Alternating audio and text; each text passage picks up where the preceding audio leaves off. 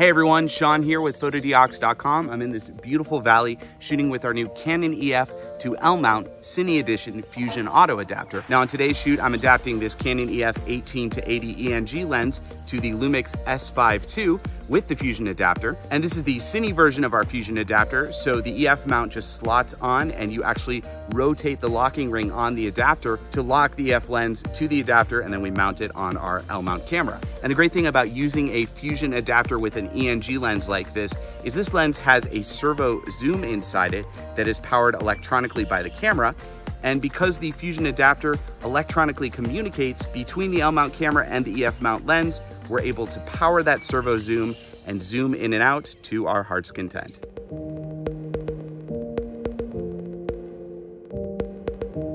If you want to learn more about this new Cine Edition EF to L-mount adapter, click the link in the description below.